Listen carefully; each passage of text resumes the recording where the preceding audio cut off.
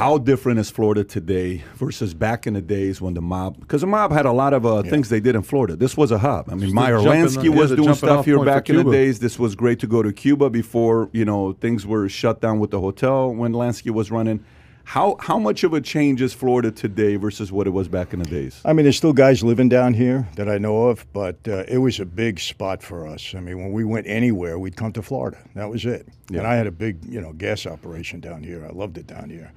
But uh, different today. I mean, everything's different today, Patrick. I mean, it's not the same influence, the same presence anywhere in the country, really. Even in New York. You know, there was a time when, I'm not kidding, every single day you pick up the New York Post, the New York Daily News, there was a mob story.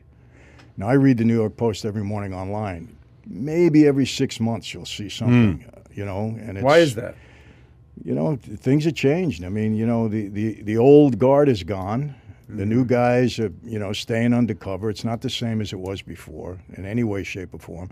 Look, you got to give the credit to Giuliani and, uh, you know, that whole force back in the mid 80s, early to mid 80s, when he really started effectively using the Racketeering Act and put everybody away and changed everything. Took the union control away, did, did so much damage to that life, which is, I guess, good for everybody else, but was bad for the life. And Really. so this is back in the days when when you were doing eight to twelve million a week. How much of it was here? How much of it was New York?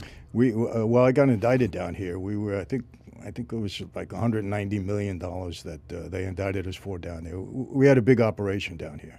I was trying to move most of what we had up there down here. To Florida. Yes. When you say down here, what part of Florida? All over? It was or? Broward Dade. Yeah. Okay, I got it. Mostly South Broward Dade. Got it. Yeah, I- South I just Florida. re- want to revisit something that you said because I don't want to gloss over this. You said you got to give respect to Rudy Giuliani for what he did. So, uh, do you respect Rudy? Is that what you're saying? Well, I didn't back then. You know, he, to- he told me he was going to give me Right. 100 years when he indicted me, but uh, I do now. Yeah.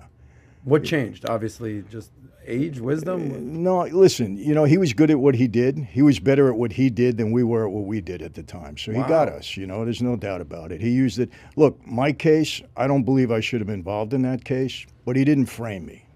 There was some semblance of something that he could have indicted me on. He did.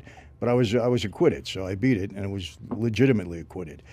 But uh, look, you got to give him credit. I mean, he was a good prosecutor. He knew what he was doing, and uh, I think he he firmly believed that what he was doing was the right thing. So you can't get mad at somebody like that. Well, how do you how do you process that? I mean, this is his biggest competitor.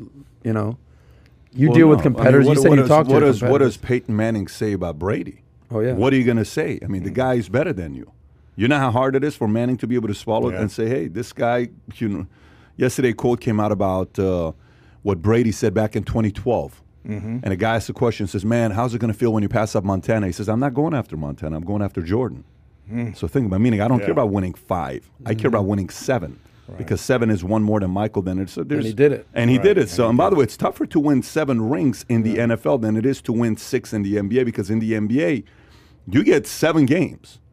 So, meaning you can have a bad day and lose to Eli Manning twice. Right. It ain't going to happen in the NBA. You're not going to have four great games. You know- Right. You know, you know what I'm saying? So, but anyways, going You back had a to great it. quote about uh, Manning and Brady and the Hall of Fame induction. Oh yeah, yeah. Well, that was uh, well Tom Manning. Manning's pretty uh, pretty funny. Obviously, everybody knows Manning, and uh, they would ha- they had the matchups where they were in the AFC Championship five years in a row, and one one of the pre games, you know, Manning gave the uh, response. They were like, "What's it like when you go up against Brady?" He's like, "Well, you know, I don't really go up against Tom Brady. I go up against the defense, and that's, uh, you know, so I don't think of it as me competing against Tom Brady. I got to beat the defense. You don't play safety."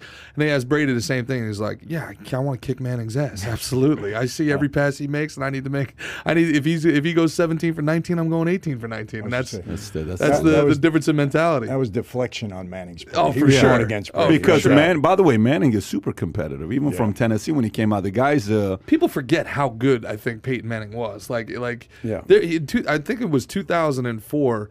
He threw 490 passes and had 49 touchdowns. One out of every 10 passes he threw went for a touchdown. The dude was unreal. he's- He was great, no doubt. He's uh, now is he connected to the mob? Is that what we're going with? Manning? Yeah. that's Yeah. kind of there's anyone that's There's- not connected to the mob, it's There- hey, there's White only, bread, there's only wholehearted one Pittman. way Eli Manning beats uh, beats old So Tommy are you- you- touchdown. So if you enjoyed this little short segment from the podcast that we here's another short segment to watch. Or if you want to see the entire podcast, click over here. Take care, everybody. Bye bye.